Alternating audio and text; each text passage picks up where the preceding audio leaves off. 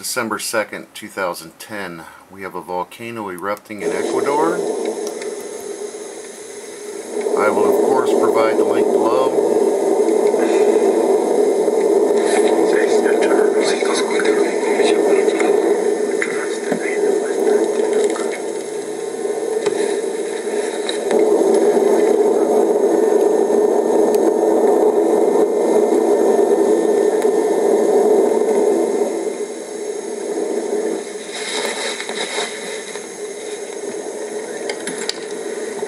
Links below.